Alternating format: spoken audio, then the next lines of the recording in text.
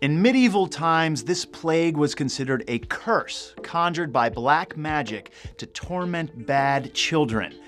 No, I'm not talking about the bubonic plague. I'm referring to what we now consider a common childhood disease chickenpox. Well, it's not caused by black magic. This curse is actually the varicella zoster virus that causes the skin to become a sea of itchy, raw pockmarks. Chickenpox will start out with perhaps a fever, decreased appetite, some crankiness, some sleepiness, and then over the course of several days, a rash will start to appear. The rash is, usually starts out as a red splotch that becomes raised and then it turns into a fluid-filled pustule. The next stage is the pustule will rupture and then it will crust over. The telltale sign of chickenpox is that you'll have these lesions, this rash, at all different ages on the body at the same time. So some of them will be red, some of them will be fluid filled, and some of them will be crusted. You usually will not have them all at the same time, at the same stage. That's how we tell the uh, difference between that type of chickenpox rash. The virus travels from person to person through the air, but also from direct contact with the blister secretions. Yes, at some point those fluid-filled sores burst open and ooze out. Perhaps that's one of the reasons children are so prone to chickenpox. I can't think of any other demographic who'd be so eager to touch fluid oozing out from another person's sores. When is the illness over? Once all of the lesions are crusted over, you are no longer contagious. There is about a 21 day incubation period for chickenpox. So if you or your child has been exposed to chickenpox, you're not out of the woods until 21 days has passed. The treatment for chickenpox, for the most part, is conservative. We just make you comfortable and we wait it out until all of the lesions are crusted over in certain cases, certain rare cases when a child is high risk or immunocompromised, there are some antiviral medications that can be given.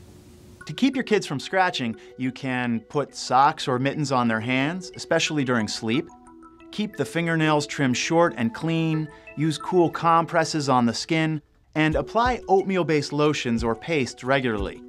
We also have a vaccine for the chickenpox, Adults who never experienced the disease as a child should seriously consider getting the vaccine because the chickenpox is much more severe as you get older.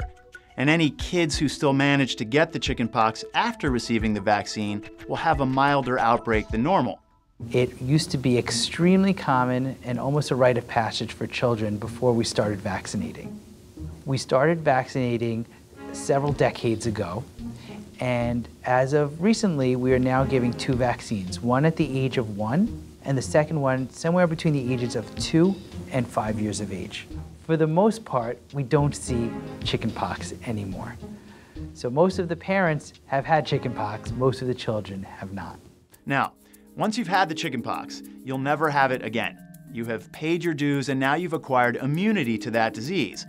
However, that immunity doesn't totally free you from the virus, and that curse can creep up and haunt you years later on down the road.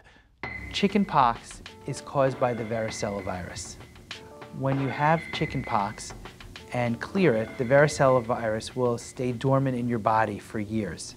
When you get older, the varicella virus can resurface, and it would resurface as shingles, which is a localized, painful pustular rash uh, that can take several weeks to go away. Luckily today, we do have some vaccines uh, that combat shingles or prevent shingles, and uh, it's essentially a booster of your body's memory, immunologic memory, to uh, decrease the chances of the recurrence. So, I guess that medieval black magic just doesn't have the same reach as it used to. Or maybe our children are just better behaved.